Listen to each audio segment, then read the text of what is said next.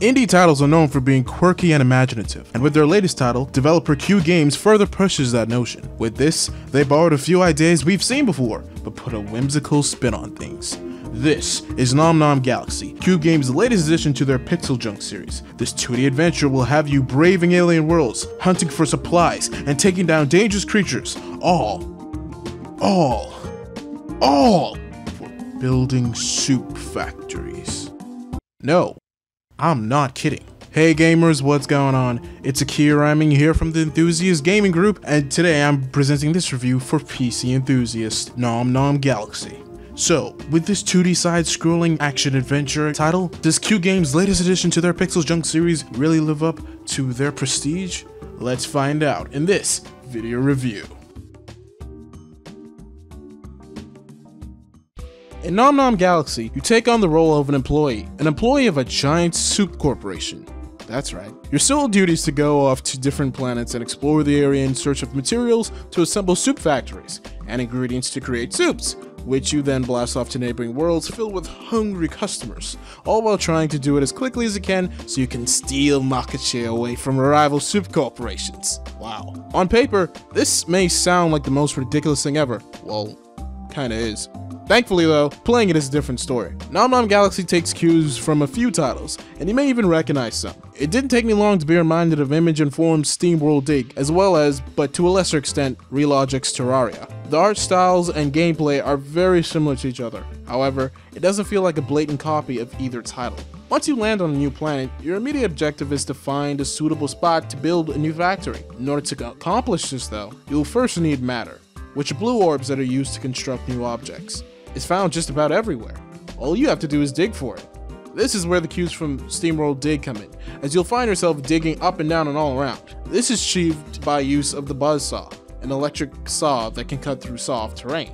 Finding matter is one thing, but constructing your facility is another. Not only do you have to find a suitable spot, but you have to construct it sensibly so that it can be efficient. The amount of matter determines what parts you can buy. They're already pre-made, so all you have to do is purchase and place. There are several to choose from, things like corridors, conveyor belts, soup machines, struts, soup rockets, and weapons.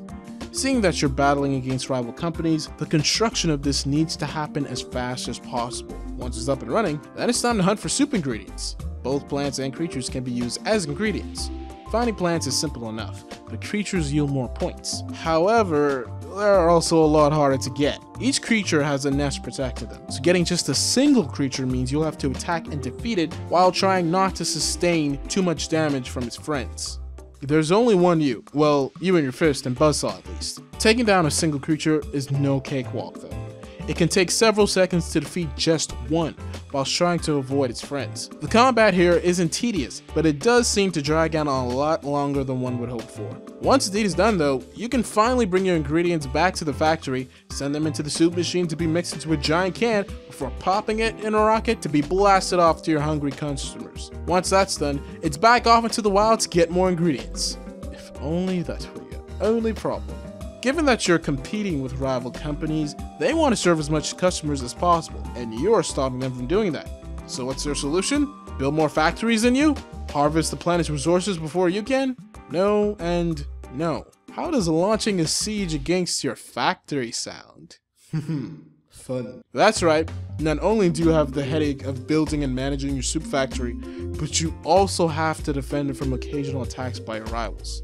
You reach a point where you can outfit your factory with weapons, but early on, you can only rely on your good old fist of fury to get the job done. Nom Nom Galaxy is one grand mixture of a variety of genres. Real-time strategy fused with action and adventure, tower defense, and a hint of survival. This is where Terraria comes in. All these different aspects combined with cues taken from other titles make for one interesting dish, just like a good soup. Yeah, I just had to. For the most part, it works. Because the game is so wacky, it actually helps keeps things fresh. You can't really get bored with this game. There's just too much to keep track of. You're constantly on your toes searching for resources, and then boom, out of nowhere, you get an alert that your factory is under attack. The constant back and forth of search and defend will leave you more drained than bored if anything. And that's a good thing. Outside of its wacky gameplay, Nom Nom Galaxy also sports an equally entertaining soundtrack as well as colorful, polished, cartoony visuals. This all helps add to the unorthodox atmosphere of the game that takes away all of realism and replaces it with straight up sci-fi weirdness. All in all, this makes a great combination. Without a doubt, Nom Nom Galaxy is not your average game. It takes inspiration from different titles and merges different genres all into one out of this world package. It's colorful, funky, and straight up random, and that's what makes it work. When you're not hunting high and low for more resources to supply your ever growing soup factory, you're battling against your rivals who take the phrase wipe out the competition a little bit too literally.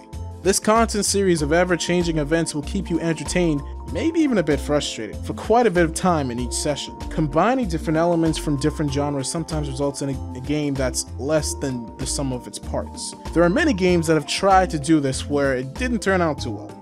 However, there are a few exceptions, and Nom Nom Galaxy is one of them. With familiar cues taken from other titles, as well as the mixture of elements from different genres, Q Games' latest addition to their PixelJunk series is one unorthodox masterpiece.